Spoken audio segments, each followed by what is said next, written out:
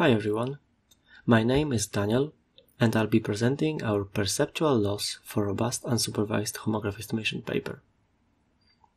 Given a pinhole camera model assumption, a homography relates any two images of the same planar surface in space or any two images produced by pure rotational movement of the camera. One image, called a source, can be transformed by a 3x3 homography matrix H as if viewed from the viewpoint of the other image, called target. Traditionally, homography estimation was performed using non-learnable approaches, either in pixel space, like direct methods, or in handcrafted feature space, feature-based methods. Feature-based methods usually perform better than direct methods, however, their success depends on the quality of the handcrafted stages and the content of the image itself. Poorly distributed features, illumination variations, or large viewpoint differences are challenging for both direct and feature-based methods. Recently, with the advancement in deep neural networks, DeTone proposed a simple CNN architecture trained in an end-to-end fashion.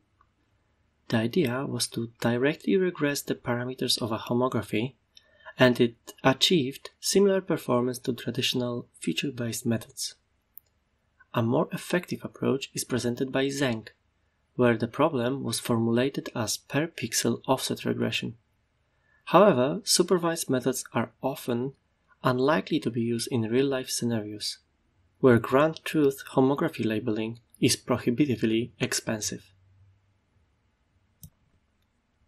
To mitigate this issue, Nguyen introduced an end-to-end unsupervised approach. First, a homography is estimated using both input images, and then homography estimation is learned by comparing the per pixel intensity of warped source image and target image. Models trained using this formulation perform surprisingly well, even for images with big viewpoint differences. However, they are not robust to big illumination changes and cannot be used in real life scenarios.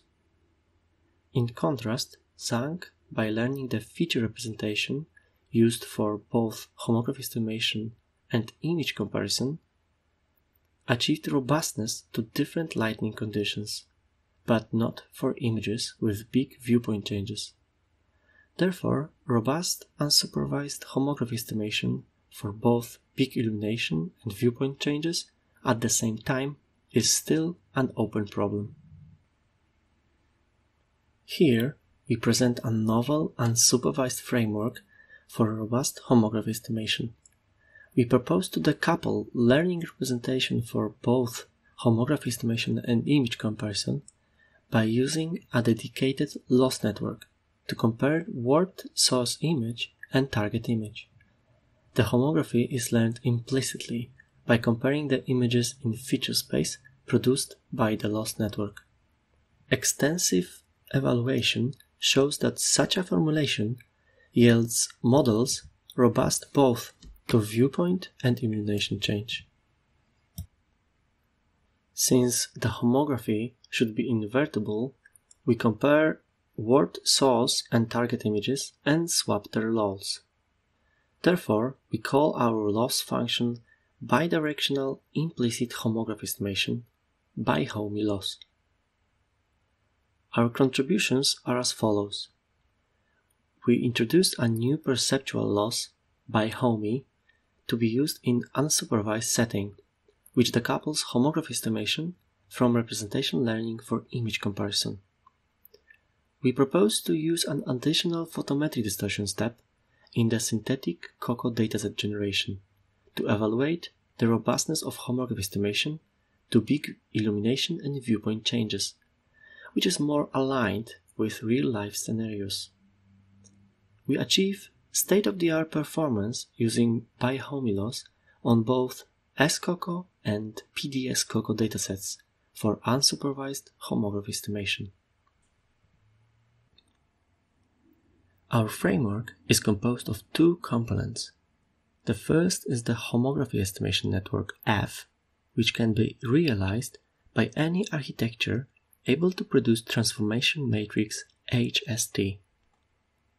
In the second part of the pipeline, homography HST, estimated by Hen, is used to transform source image IS into IS prime.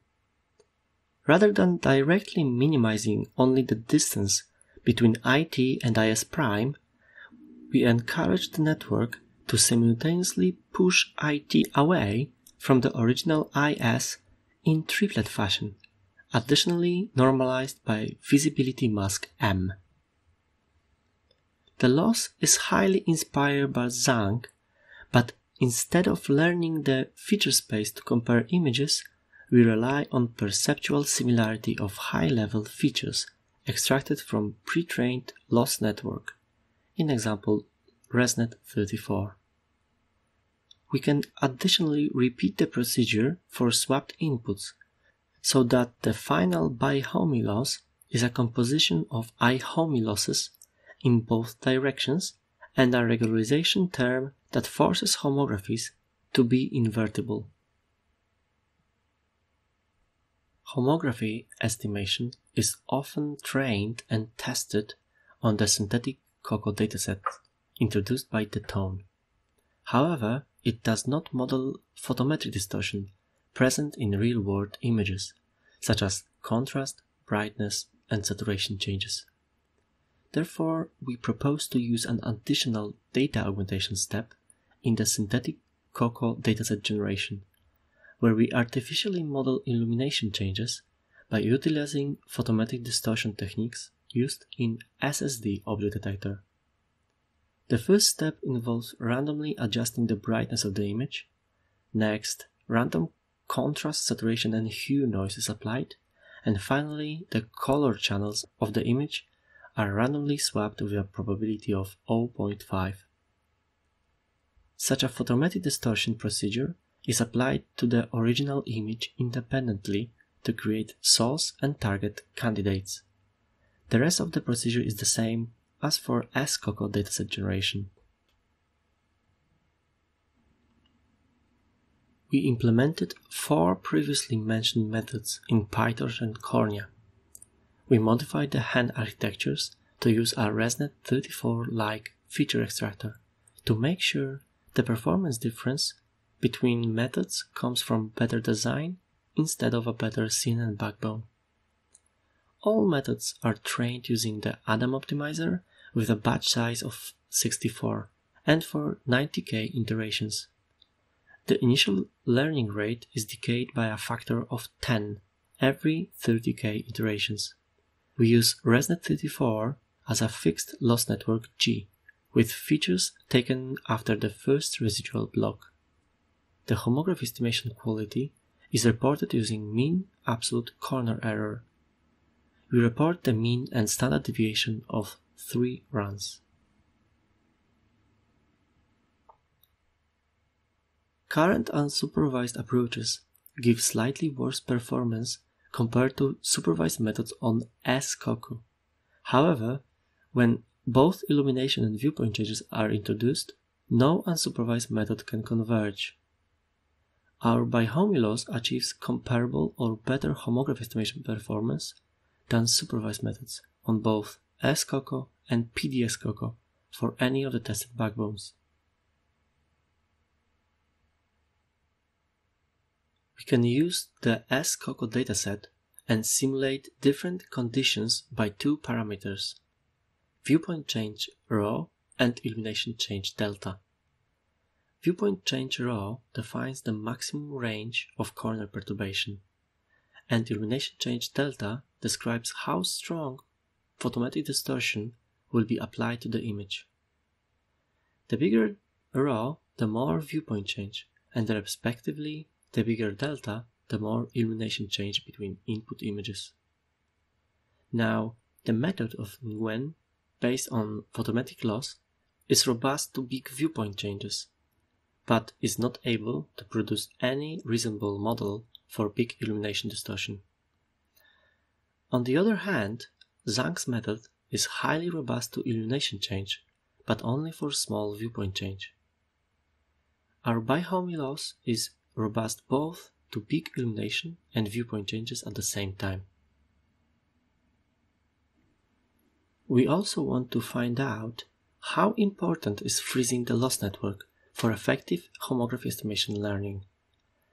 As shown in table, fixed loss network performs better. One of the possible reasons is that freezing weights of G allows using a bigger learning rate, which can result in better convergence. But even for the same learning rate, freezing the loss network is still a preferable policy. One of the shortcomings of using models pre-trained on ImageNet is possible suboptimal results on out-of-distribution datasets. To test this vulnerability, we compare Zhang method with the original and our By-Homi on FLIR thermal dataset, preprocessed similar to SCOCO. Although thermal images are vastly different than color images, the loss network was trained on our By-Homi still achieves better performance. Please take a look on our paper for more ablation studies and use cases. To conclude, we presented an unsupervised approach to homography estimation that is robust to peak illumination and viewpoint changes at the same time. We showed that disentangling the homography estimation from representation learning provides better estimates. We also propose to use an additional photometric distortion step in the synthetic COCO dataset generation and encourage future works to use it as a new evaluation benchmark of robust homography estimation. Then we presented a study of modern homography estimation baselines along with our bidirectional implicit homography estimation By-Homi loss on both SCOCO and PDS-COCO. By-Homi achieves a new state-of-the-art performance for unsupervised homography estimation, which is also comparable or better compared to supervised approaches. Thank you all for watching.